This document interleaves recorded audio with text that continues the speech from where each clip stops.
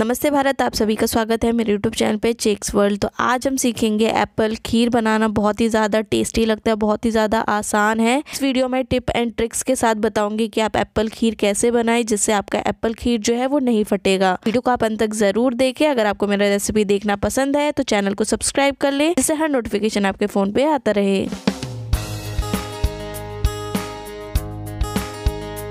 Apple खीर बनाने के लिए हमें सबसे पहले यहाँ पे दो एप्पल लेने हैं, मीडियम साइज़ के एप्पल। अगर आप छोटे वाले एप्पल ले रहे हैं तो चार एप्पल का इस्तेमाल करें। एप्पल को हम यहाँ पे अच्छे से धो लेंगे और छील लेंगे। यहाँ पे मैंने एप्पल को अच्छे से धो लिया और छील लिया है। अब हम यहाँ पे एप्पल को कद्दूकस करेंगे और यहाँ पे हमने दोनों एप्पल को अच्छे से कद्दूकस कर लिया है। बिल्कुल खिला खिला सा हमारा यहाँ पे एप्पल कद्दूकस हुआ है। इसी तरीके से हमें एप्पल को कद्दूकस कर लेना है। इसके बाद हमें यहाँ पे कढ़ाई लेना है। कढ़ाई को अच्छे से गर्म कर लेना है। जैसे ही कढ़ाई गर्म हो जाएगा, तब हमें इसके अंदर डालना है टू टेबल स्पून घी और घी डालने के बाद हमें घी को अच्छे से गर्म कर लेना है। घी से बहुत अच्छा फ्लेवर आता है तो यहाँ पे आप घी का ही इस्तेमाल करें। घी हमारा अच्छे से गर्म हो चुका है, तब हम इसके अंदर डालेंगे एप्पल जो हमने ग्रेट किया था। और एप्पल डालने के बाद हमें एप्पल को यहाँ पे अच्छे से भून लेना है। जैसे जैसे आप एप्पल को भूनते जाएँगे एप्पल का जो पानी है, वो निकलना शुरू हो जाएगा। और थोड़ी देर बाद आप देखेंगे एप्पल में से पानी निकलना शुरू हो चुका है। हमें यहाँ पे एप्पल को कंटिन्यूसली स्टर करते रहना है। तब तक करना है, जब तक पानी जो है, वो हट नहीं जाता एप्पल में से। और थोड़ी देर बाद आप देखेंगे एप्पल में से जो पानी है वो हट चुका है और हमारा एप्पल जो है वो गोल्डन ब्राउन कलर का हो चुका है। अब हमें एप्पल को एक बाउल के अंदर निकाल लेना है और ठंडा कर लेना है। उसके बाद हमें यहाँ पे पतीला लेना है। पतीले के अंदर हम एक ग्लास दूध डालेंगे, अराउंड 500 मिलीलीटर दूध डालना है। दूध डालने के बाद हमें यहाँ पे गैस का फ्लेम लो कर लेना है और दूध को अच्छे से गर्म कर लेना है। जैसे ही दूध गर्म हो जाएगा, यहाँ पे हमें दूध को कंटिन्यूसली स्टर करते रहना है। और तब तक करना है जब तक हमारी दूध की जो कंसिस्टेंसी है वो बिल्कुल आधी नहीं हो जाती। थोड़ी देर बाद आप देखेंगे हमारे दूध की जो कंसिस्टेंसी है वो थोड़ी कम हो चुकी है। अब हम इसके अंदर डालेंगे चीनी। आप अपने अकॉर्डिंग यहाँ पे चीनी डाल सकते हैं। सेब भी मीठा होता है तो उसी हिसाब से आप इसके अंदर चीनी डालें। चीनी की जगह आप कंडेंस मिल्क का भी इस्तेमाल कर सकते हैं। चीनी डालने के बाद दोबारा से हम यहाँ पे दूध को कंटिन्यूसली स्टर करते रहेंगे। और थोड़ी देर दूध को स्टर करने के बाद आप देखेंगे हमारे दूध की जो कंसिस्टेंसी है वो बिल्कुल आधी हो चुकी है। तब हम इसके अंदर डालेंगे इलायची पाउडर। और इलायची पाउडर के साथ साथ आप इसके अंदर केसर का भी इस्तेमाल कर सकते हैं। अगर आपको दूध के अंदर कलर चाहिए तो अच्छे से हम यहाँ पे दूध को दोबारा स्टर करते रहेंगे। और थोड़ी देर दूध को स्टर करने के बाद आप देखेंगे हमारे दूध की जो कंसिस्टेंसी है वो थोड़ी कम हो चुकी है। अच्छे से हमारा दूध जो है वो क्रीमी हो चुका है। अब जाकर के हम गैस का फ्लेम बंद कर लेंगे और दूध को हम यहाँ पे ठंडा कर लेंगे। और आधे घंटे के बाद यहाँ पे हमारा दूध जो है बहुत ही अच्छे से ठंडा हो चुका है। आप यहाँ पे उंगली डाल करके भी चेक कर सकते हैं कि आपका दूध जो है वो ठंडा हुआ है कि नहीं। तो दूध अच्छे से ठंडा हो चुका है। अब हम दूध के अंदर डालेंगे एप्पल जो हमने भूना था। तो एप्पल को भी यहाँ पे हमें ठंडा कर लेना है, तभी दूध के अंदर डालना है। तो दूध के अंदर हमने एप्पल को डाल दिया है। अब हम एप्पल और दूध को अच्छे से मिक्स कर लेंगे। और अगर आपका एप्पल या दूध इनमें से कोई भी अगर एक गर्म रह जाता है, ठंडा नहीं रहता है तो आपका दूध जो है वो फट सकता है। तो यहाँ पे सबसे ज़्यादा ध्यान दे कि आपका एप्पल और दूध दोनों ठंडा होना चाहिए। और हमने यहाँ पे एप्पल और दूध को अच्छे से मिक्स कर लिया है। अब हम इसके अंदर डालेंगे ड्राई फ्रूट्स। और ड्राई फ्रूट्स में मैंने यहाँ पे काजू और किशमिश लिया है। आप अपने अकॉर्डिंग यहाँ पे कोई सा भी ड्राई फ्रूट्स ले सकते हैं और ड्राई फ्रूट और एप्पल खीर को हम अच्छे से मिक्स कर लेंगे और यहाँ पे हमारा एप्पल खीर बन करके तैयार हो चुका है। अब हम इसको बाउल के अंदर निकाल लेंगे। एप्पल खीर बनाना बहुत ही आसान है, बच्चों को बहुत ज़्यादा पसंद आता है। आप इसको ओकेजनली भी बना करके खा सकते हैं। इसी तरीके से आप एप्पल खीर बनाएँ, जिससे आपका एप्पल खीर जो है वो नहीं फटेगा। और आपको मेरा ये एप्पल खीर रेसिपी कैसा लगा कमेंट बॉक्स में ज़रूर बताएँ। तब तक के लिए इस वीडियो को लाइक करे शेयर करे और चैनल को सब्सक्राइब नहीं किया है सब्सक्राइब कर ले और बेलाइकन दबाना ना भूले। मैं हर दिन नए नए वीडियो लेकर के आती हूँ तो चैनल पे बने रहे। तब तक के लिए thank you for watching